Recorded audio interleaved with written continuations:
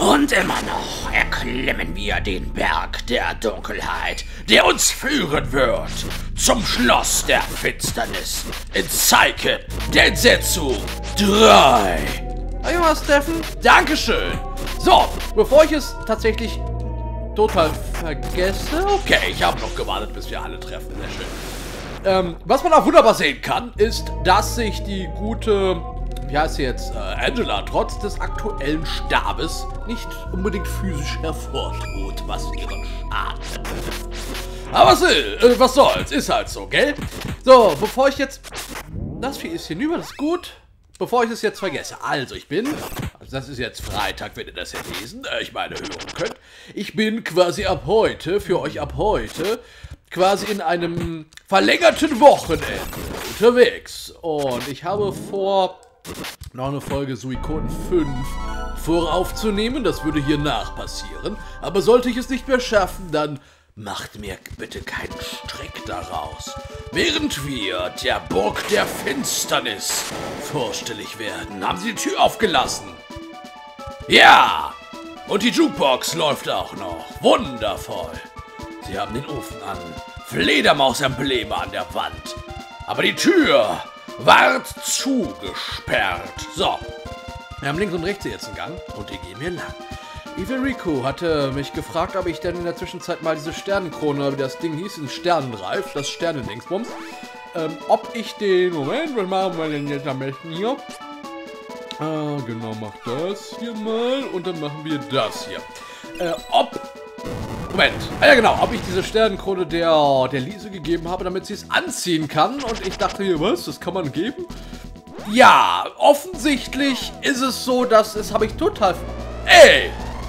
Ey, du fieses Mistgeburtenteil, du dreckiger Rompfen! Wieso konnte er, obwohl er gestillt war, immer noch äh, Hunger haben? Nein, nein, nein, nein.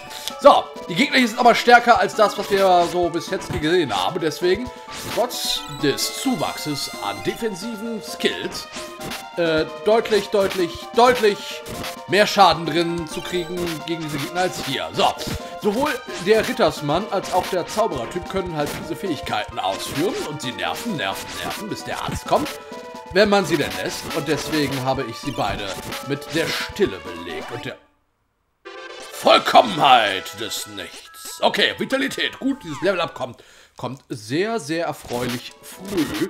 Und... Okay, das haben wir jetzt nicht gesehen. Sie lernt die Fähigkeit Alte Magie. Auf einen und alle Gegner. Eigentlich nur auf alle Gegner, weil es geht nur auf alle Gegner. Die Sterne, ja, deswegen dachte ich Sternentänzerin, Sternenhäubchen, das müsste doch eigentlich gehen. Aber gut, ich habe sie alle verkauft und deswegen habe ich keins mehr. Aber ich habe noch einige wenige Ausrüstungssamen. Und jetzt müsste jetzt der Stärke-Buff sein, nicht auf alle Gegner sprechen kann. Ha, ha.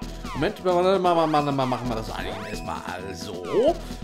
Und, äh, ah ja, und, wie heißt es, Lise hat Marduk gelernt. Stärke hatte sie beim letzten Level ab. Marduk, ui, Marduk wäre jetzt eigentlich für diese Konstellation hier die perfekte Welle gewesen, der perfekte Tag, weil ich es mag. Weil Marduk macht nicht nur Gruppenschaden, sondern, okay, der Gruppenschaden ist jetzt vernachlässigbar, aber alle Gegner, die gestillt werden können, werden satt. Gemacht von seiner Macht. Und deswegen, ich habe nicht gesehen, dass der äh, Küchenmagier hier gerade noch auf diesem Screen herumturnt. Mach es, töte es, vernichte es. Hauen wir mal. Haut ihr, haut ihr drauf.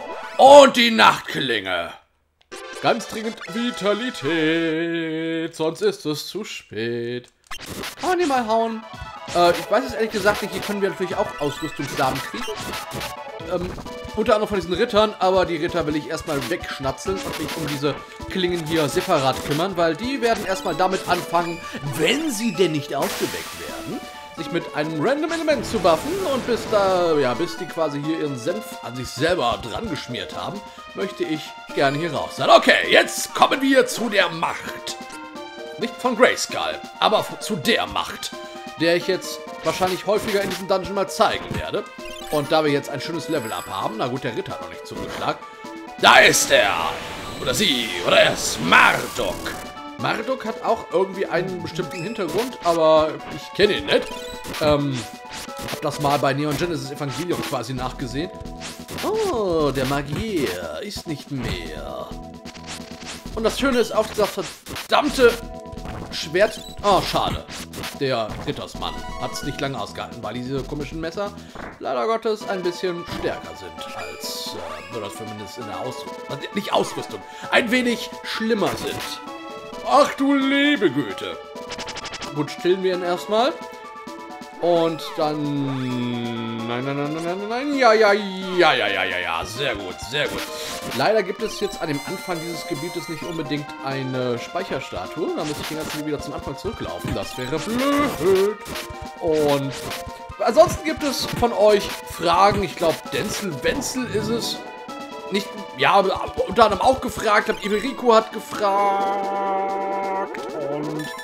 Und Deathspawn 2048 Ausrüstungssamen hat gefragt. Ich glaube, ich heile. Wann heilst du dich, Bernd? Haha, nein. Äh, ich heile mich jetzt nochmal kurz äh, mit Hawkey und mit Angela. Ich glaube, Lise braucht sich unbedingt. Und zwar, was spiele ich denn, wenn ich hiermit fertig bin? Anscheinend können. Und, und Sirena GA hat, glaube ich. Na, zumindest Sirena GA hat auch schon mal was zum Ende gesagt. Und von dem, ob das Spiel jetzt langsam zu Ende geht, weil keiner mag das Ding hier. Weil man hier durch Dungeons läuft oder Gebiete und Gegner umhaut. Ja, so ist es halt. Oh. Okay. Ähm, ich glaube, ich mache mal ein bisschen Marduk. Ich könnte natürlich auch den super Zauber von Angela mal zeigen, aber ja, ich sag mal so, er ist von der Stärke her nicht wie Death Spell. Gut, Death Spell oder Todesspruch trifft nur einen Charakter, einen Gegner und man muss natürlich ein höheres Level haben, damit er überhaupt Schaden macht, aber dann macht er 999. Im Gegenzug kann man natürlich äh, dem übermächtigen Death Spell der Gegner dadurch entgehen, indem man sich quasi Level-Grinding-mäßig in höhere Levelsphären begibt und äh, ja, man das quasi dadurch vollständig auskontert. Wieso spiele ich jetzt gerade jemand anderen? Äh, das, das halt vollständig auskontert. Aber dazu müsste ich grinden und müsste nachsehen, was für ein Level die Bosse haben. Das weiß ich nämlich nicht. Und das möchte ich ja eigentlich, ehrlich gesagt, auch nicht so wirklich. Aber äh, Deathspell dadurch für einen einzelnen Gegner, wenn man die Voraussetzungen erfüllt, das geilste. So, wir haben die uralte Magie. Ich zeige sie jetzt einfach mal, die Angela macht. Oder aber der Gegner zeigt mir, was er mit seiner Magie zu leisten imstande ist. Die Sau! Ja, es ist Meteor quasi. Ich kenne nur na, es gibt wahrscheinlich mehrere Gegner, die das können. Man fällt jetzt gerade nur einer ein, nämlich der Ritter des äh, Magier des Roten Lotus. Na kommt der große Brocken zum Schluss. Es trifft alle Gegner automatisch und macht Massive Damage. Ja, weitestgehend zumindest. Ist ganz nett mit den richtigen Voraussetzungen. Kommen da auch 800 raus und ich denke mal, wenn sie noch das ein oder andere Level hat, wird sie wahrscheinlich noch bekommen, weil der Dungeon hier ist groß und mächtig und die Gegner geben gut Erfahrungspunkte. Und sie dürfte das Ende der Intelligenzstange noch nicht erhalten haben. Dann gibt es noch natürlich den Intelligenz-Buff und den Intelligenz- oder den äh, magischen Schadens-Debuff des Gegners. Und von daher kommen wir damit, glaube ich, schon ganz gut auch an die Schadensgrenze ran. Aber der Death kostet, glaube ich, auch nur 9 Erfahrung äh, Magiepunkte. Im Gegensatz zur alten oder antiken Magie, die denn da ähm, 12 kostet. Das ist eine. Und die Animation ist viel, viel, viel, viel länger. Ich glaube, in der Animation, wo der alte Zauber durchkommt, darf ich was tun? Dankeschön. Äh, in der Animation, wo der alte Zauber durchkommt, kann ich geschätzte zweieinhalb bis drei Death Spells raushauen. Aber von daher, es ist äh, eher was für die Massenvergewaltigung von Gegnern. Und dafür setze ich es setz dann auch ganz gerne mal ein. Jetzt habe ich schon wieder mehr drauf gehauen, als ich eigentlich wollen tute, das gehabt hätte. Ja, und wie in neueren Spielen das eigentlich Usus ist. Oh, schade. Wie in neueren Spielen das eigentlich jetzt. Hui! Ziemlich Usus ist, gibt es. Äh, Moment, ja, genau. Gibt es Barrieren. In diesem Fall Feuerbarrieren, sodass wir die Gegner bekämpfen müssen. In einem Dokument, welches quasi vom ja, von dem Spiel im Generellen handelt und auch die verschiedenen Pfade abdeckt, habe ich jetzt eine ganz interessante Information gefunden für mich persönlich. Ähm, ob das jetzt wirklich so ist, kann man sich streiten. Was habe ich gefunden? Eine Information relativ einfach. Und zwar wurden die verschiedenen Pfade durch das Spiel in diesem Guide mit Schwierigkeitsstufen ausgestattet. Also sprich, was das Schwerste, was man machen kann, was das Einfachste, was man machen kann. Das Einfachste soll tatsächlich... Äh, uiuiui, was war das nochmal? Ich glaube Kali und ich habe gerade das Gefühl, ich drücke wie ein Idiot auf meine Knöpfe rum und es passiert nichts. Ja, und das Spiegeln im Boden ist, glaube ich, ein ziemliches Leckerrand und ein, ein Augenkiller, weil das alles so schön flackern tut. Warum? sie das nicht besser hingekriegt haben. Ich habe keine Ahnung. Aber es ist eben so. Yeah! Yeah, noch ein Ausrüstungsarm, falls wir es überleben. So, was haben wir hier drin? Es ist wieder ein mächtiger, großer, krasser Dämon. So, aber bevor ich mich diesem hier stelle, will ich mich erstmal selber buffen, weil ihr habt gesehen, der haut rein. Der haut ganz mächtig rein, der Knabe. Achso, okay, ich habe jetzt drauf gewartet, dass ich genau das hier mache. Penisstäbe. Egal. Oh, jetzt dürfen wir ihn einigermaßen gefahrlos niederknüppeln können. Wobei ich jetzt ehrlich gesagt nicht... Oh Gott. Ja, das ist jetzt noch mehr Bildinformation hier mit den Spiegeln oder gespiegelten Schatten, Spiegeleffekten auf dem Boden. Ich immer noch keine Ahnung habe, wo man sich jetzt lang bewegt. Und das blöd, also das Schöne wäre eigentlich, an diesen Dämonen könnte man fantastisch ähm, die Ausrüstungssamen farmen. Problem ist nur, wenn die aber tot sind, kommen die nicht wieder, weil die sind dafür zuständig, dass man diese Barrieren hier durch hat. Oh, ist das etwa eine Streicherstatue? Flönk! Nein, sieht nicht danach aus. Aber jetzt kommen wir hier oben hin. Und hier der angekettete Mann erzeugt diesen Ausgang dort unten, sodass wir da jetzt langkommen. Aber gehen wir nochmal hier runter, das dürfen wir ja. Und bekämpfen? Fragezeichen. Und nochmal hier durch. So, was der Fall ist, dass auf der anderen Seite äh, was machen wir jetzt am besten? Was auf der anderen Seite? Nee, machen wir. Obwohl, wir machen Marduk, das ist, glaube ich, macht Schaden und äh, stillt zumindest den Rittersmann. Ist jetzt ein bisschen zu spät, um die Gladiatorenklingen ebenfalls zu stillen. Die sind jetzt leider schon bedingst. Und leider Gottes kann man nur mit einer Charakterfähigkeit oder vielleicht auch dem richtigen Item, was man kaufen bzw finden kann durch die Klassen-Items, das weiß ich jetzt nicht, aber in erster Regel nur durch, äh, wie heißt es noch gleich, durch äh, Klassenfertigkeiten einen Gegner die nicht debuffen, sondern die Buffs wieder runternehmen. So Anti-Z würde man bei Final Fantasy sagen. Medica nicht unbedingt. Uiuiuiui. Gut, dass wir Honig haben. Gut, dass Rock ein großes Mundwerk hat. Und ja, also als ich dann gemerkt habe, ich hätte das Krönchen auch der Insel anziehen können, wenn ich es ihr gegeben hätte, wäre die E-Mail mal früher angekommen. Ja, da ist es wie, mir wie eine Nutte vom Straßenstrich gefallen, was ich da getan habe. Weil die Erinnerung hatte ich tatsächlich schon. Also, ja, ich erinnere mich dran, dass man das irgendwie vergeben muss, dass irgendwie das im Inventar eines Charakters ist und man das irgendwie umdisponieren muss. Warum sie das ausgerechnet bei den Dingern so gemacht haben, ich habe nicht den Hauch einer fucking Ahnung, warum das so ist. Es ist aber so. Und ich habe mir gedacht, ja, großartig vorbereiten auf dieses Spiel musste ich nicht. Hat das damals ja gespielt wie ein Irrer. Aber dann sieht es auch wiederum so aus. Ja, und ich finde Schmerzen ganz, ganz toll. Nein, ich finde immer noch auch. Kann sein, dass es... Moment, Lise ist richtig. Kann natürlich sein, dass mich jetzt so ein bisschen... Äh, ja, die Nostalgie ein bisschen mir einen Strich um die Nase. Oder einen Strich durch, wie heißt es, mich an der Nase herumführt. Das wollte ich gesagt haben. Äh, Moment. Bevor der mich jetzt natzen tut, natzen wir ihn. Okay, er kann super Instant Magie ausüben. Finde ich toll. Ganz, ganz toll. Jetzt ist er wahrscheinlich auch tot, aber dann ist er zumindest tot. Wenn er tot ist. Ja, sehr schön. So, was wollte ich jetzt gesagt haben? Ah ja, genau. Aber ich habe das Spiel auch relativ spät erst gespielt. Also, äh, da auf dem PC, ne, aus äh, Gründen der Gründe, aus ganz tollen Gründen, nur gemerkt, ähm, das hat nichts mit Illegalität zu tun. Nein, nein, nein, nein. Aber ich habe es sehr spät gespielt und da fand ich, oder da, da gab es PlayStation 1 mindestens, 2 vielleicht auch schon. Ich weiß es jetzt ehrlich gesagt nicht mehr. Also bei einzelnen Gegnern mache ich so. Und äh, ja, genau, deswegen würde ich sagen, dass das Ding eigentlich auch noch ganz gut aus heutiger Sicht funktioniert. Na, wo dabei natürlich gewisse Design-Flaws definitiv da sind. Das darf man nicht sagen. Also, äh, beispielsweise, dass theoretisch manche Standardgegner deutlich gefährlicher sind als mancher Boss, ist so eine Sache, die mir einfach wirklich nicht gefällt. Also, wo der Boss dann einfach, oder wusste ich, es liegt auch so ein bisschen mit daran, dass sich meins manchmal einfach nicht lohnt bei einem scheiß Standardgegner, der also in zwei Schlägen vielleicht dann tot, ja, ein bisschen mehr sind es schon, der dann einfach sehr schnell tot ist, äh, halt die Debuffs nicht macht und das eben eventuell auch aufgrund der äh, Geschwindigkeit oder der, der Leistungsfähigkeit des Super Nintendos ja, das Ganze dann rundenbasiert wird, wenn es in Richtung Fertigkeiten-Einsatz geht, ist dann doch sehr, sehr schade, wie ich finde. Wobei, das liegt aber dann wahrscheinlich wirklich an der Leistungsfähigkeit der Konsole und war damals nicht anders machbar. Vielleicht haben sie sich anders vorgestellt, weil das Spiel ja ursprünglich für dieses CD-Add-on oder sowas fürs SNES mehr oder weniger geplant war, wie ich gehört habe. Ich kann ja nicht lang. Ähm, sodass sich das in Wohlgefallen hätte aufgelöst oder ja, hätte aufgelöst. Und ich vermute auch, dass die Spiegelung hier deutlich besser wären, würde das Spiel auf diesem Zusatzgerät, was ja nie erschienen ist, erschienen sein. Aber die mussten halt.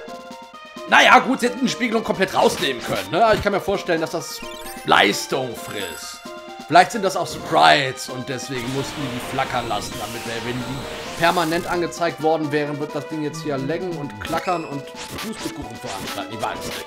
Ich bin da kein Super Nintendo-Techniker oder sonst irgendwas. Aber ich finde das immer schon, äh, ich persönlich finde es halt sehr, sehr spannend auch, wenn ich so höre, was für Tricks Programmierer damals beim C64 beispielsweise veranstaltet haben, um mehr als, äh, ja, oder mehr als weiß ich, sieben Gegner auf dem Bildschirm zu zaubern, glaube ich, weil irgendwie dies, das Sprite Limit bei acht Objekten ähm, auf der Konsole, äh, nicht auf der Konsole, auf dem Gerät gewesen ist. Und ähm, ja, das sind so Dinge, wo ich mir dann denke, wow, wo heute bei iPhones und sowas, bei sonstigen solchen Spielen, also ich, ich weiß es nicht. Ich habe das Gefühl, heute ist diese, diese technische Ausreizung, die damals der Fall gewesen ist, wo man es auch richtig noch gesehen hat, war halt irgendwie auf so einer Hardware-Ebene und einer Tricks-Ebene.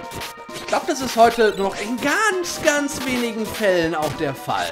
Was ich halt sehr, sehr schade finde. Aber nun gut, es ist ja auch deutlich komplexer geworden als damals. Ne? Auch was die Spieleentwicklung und sowas betrifft. Von daher doppelt kritisch. Das klingt aber sehr kritisch für meine Gesundheit. Yeah, es ist weg. Und, und, und, und, Ach, schade. Weil die können, glaube ich, auch die Ausrüstungssamen fallen lassen. Nicht, dass ich irgendwelche Hoffnungen hätte, dass ich nochmal irgendwas Gescheites herauskriege. Aber schön wäre es zumindest, ne? Würde ich zumindest einmal sagen. So. Der Schachmeister da unten darf gerne noch ein kleines bisschen in dieser verstärkten Form bleiben. Das erhöht die Chancen, dass er als letzter fällt. Ja, ich weiß, ich könnte mit Angel dann noch ein bisschen was machen und so weiter. Ich könnte mich noch buffen. Aber ich habe, denke ich, Heil-Items genug für diesen Dungeon noch mit dabei. Und die möchte ich, oder die würde ich dann halt erstmal benutzen, weil Geld brauche ich jetzt im Grunde eigentlich nur für Standard-Items. Ich habe, ja gut, ich könnte mir noch die, ähm, die Accessoires und die Helme kaufen. Würde, würde ich dann eventuell auch machen, je nachdem. Yay! Was bei den Ausrüstungssamen letztendlich dabei mit rauskommt. Aber ich spekuliere halt nicht drauf. Also das ist so marginaler Unterschied, dass es nicht unbedingt brauche, würde ich mal sagen. So. So, da bin ich wieder. Während Lisa eine teuflische Menge an Lebenspunkten hat. Ich habe noch, ich habe äh, kurz, wie heißt es? Ich habe kurz aufgehört äh, aufzunehmen. Einfach, uiuiui. Einfach äh, liegt es daran, Moment, dass ich einerseits meine Helden nochmal geheilt habe, weil an ja, grauen Statuen kann man eben nicht heilen, leider. Deswegen die da keine Güldene hinstellen. Entzieht sich mir die Kenntnis. Das ist ja, finde ich, ein bisschen besser in neueren Spielen, dass häufig Speicherpunkte auch definitiv heilen. So, ihr, ihr Verfallsdatumstomatenmänner. Das sind übrigens die, die heilen. Hm. Scheiße. Oh, er heilt. Mach was! So, gut, wenigstens halt er sich nicht selber. Wieso nicht daneben hauen? Okay, also guck mal, bei, bei zwei Heilern gleichzeitig ist das ein bisschen kritisch, was hier gerade die ganze Zeit passiert. Trifft dieses Vieh mal in seinem verdammten Kochtopf. So, jetzt reicht es, jetzt reicht es. Jetzt mache ich dicke Hörner mit äh, Spitzbärten. So. Ups, äh, war eigentlich das... Okay, so geht's auch. Ich wollte eigentlich den Superzauber machen. Aber das geht ja, das geht ja. Scheiß Kombination hier. Aber dafür gibt's die... St Stille. Achso, Angela, du bist nur. Ja, mit 400 äh, Lebenspunkten, die mit einem Spruch geheilt werden, da muss man erstmal rankommen ohne perfekte Waffen. Und Stärkewerte. Und Level. So. Jetzt bin ich stärker geworden. Yes. Yes. Oh yeah. Intelligenz mehr. Und damit müssten wir auch sämtliche Skills erlernt haben, die wir lernen können. So. Darf ich Oh, die Sternentänzerin darf auch noch. Okay, in diesem Fall wird sie etwas intelligenter. Oh, eine Vampir mit. Was passiert hier jetzt gerade?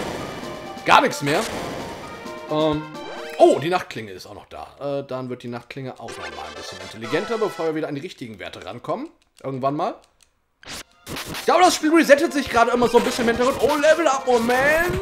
Es ist gerade fordernd hier auf diesem Bildschirm. Ich muss mal alles neu starten. Also die Musik und so weiter. 1236 Erfahrungspunkte. Yeah. Baby. Und Satanswimpern. Und eine Satans-Lady. So, das Ding ist weggewimpert. In einem Augenblick war es dann ein fieser Angriff. Auch jetzt hätte auf die, auf die Vampir-Lady machen können. Und ihre blonde Superfrisur. Ja. Aber ich habe ja gesagt, hier gibt's noch ordentlich was an... Nein, keine Herzchen. Keine Herzattacke, keine Zuckerherzen. Wie heißt es? Chibiusa. Achso, ich dachte schon, wieso komme ich da jetzt nicht durch? Oh oh, eine Tür, ein Henkersmann. Ein Henkersmann Nummer zwei. Und ein Weg, der hier reinführt. Doch kommen wir nicht weiter. Dreck. Ein mächtiger Dämon versperrt uns dort auch noch den Weg. So wird der Bernd hingehen und sich eine Schokolädchen für die nach reindrücken. Nämlich, da muss es durch diese Tür hier durchgehen. Zum Fledermausbereich. Jawohl. Doch was ist hier? Aha, ein Dämonenraum anscheinend. Mit der Anrufung. Einem Thron, den wir konfrontieren. Äh, konfront... Was zum... Was zum... Nein, die Helden fallen schon wieder nach unten. Und was bietet sich ihnen hier? Ist es ein Bossraum? Doch gegen was? Das erfahren wir in der nächsten Folge von Let's Play. Na gut, ist die Metallkrabbe. Ähm, Cycle der Setsu 5. Bis dann. Ciao.